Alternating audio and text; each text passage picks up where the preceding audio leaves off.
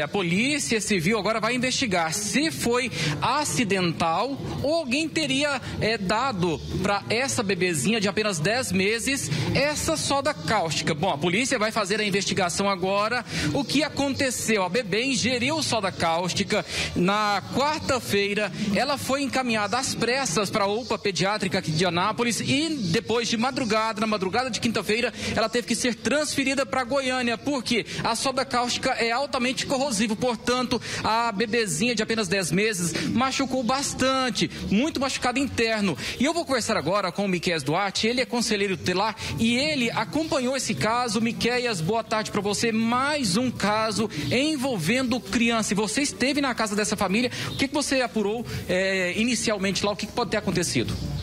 Boa tarde, boa tarde a todos. É, o Conselho Tutelar até agora está identificando uma situação de negligência, é o que a gente pode identificar previamente. É, essa mãe da bebezinha de apenas 10 meses, essa mãe é menor de idade, tem 16 anos, e segundo a avó, nós conversamos com a avó, fomos até a casa dela, que é responsável né, por essa mãe, disse que a filha saiu de casa alguns dias e foi morar num lugar onde nem ela mesma conhece as pessoas dessa casa. E enquanto a mãe estava fazendo o almoço, essa criança teve acesso a um pote de soda e ingeriu né, um pouco dessa soda cáustica, deixou cair no corpo e tudo mais. A mãe disse que nem ela sabia de onde estava essa soda, ela foi descobrir depois do acidente com a criança. É, teve o atendimento pelo SAMU e a criança agora está no UGOL, como dito. Contudo, a gente está identificando um caso assim de negligência grave né, por parte dessa mãe uma irresponsabilidade muito grande. Isso nos preocupa. Miqueias, nesse caso, o pai foi ouvido também? O pai conseguiu dar alguma explicação para o Conselho Tutelar? Sim, o pai, ontem, acompanhado do Conselho Tutelar, prestou depoimento dele na DEPAI, aqui em Anápolis, e a Polícia Civil já está a par e fazendo o processo de investigação.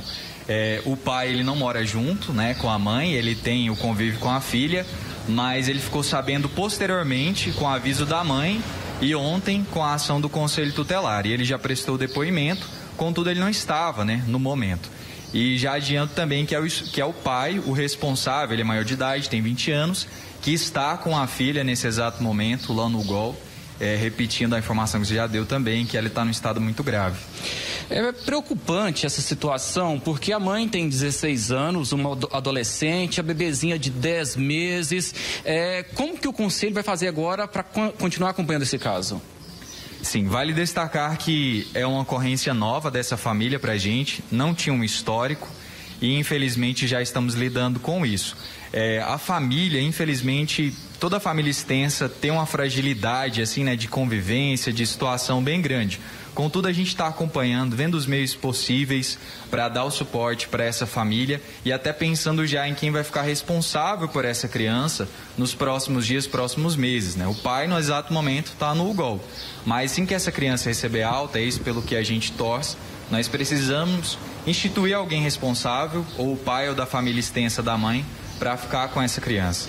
Ok, muito obrigado pelas informações, Miqueias, parabéns pelo trabalho. Tá vendo só, Lores? Mais um caso envolvendo bebê aqui na cidade de Anápolis. Nós pegamos uma nota do estado de saúde dessa bebezinha de 10 meses. Ela continua internada na UTI do UGOL em Goiânia, em estado grave e respira com a ajuda de aparelhos. Lembrando que a Polícia Civil vai investigar esse caso, se foi acidental ou se foi criminal que essa bebê teria ingerido isso aí, ou seja, seja, se alguém teria dado para essa bebê essa soda. Portanto, a gente vai continuar acompanhando esse caso e a gente torce muito, a gente faz as orações para que essa bebê se restabeleça a saúde completamente por 100% mais breve possível.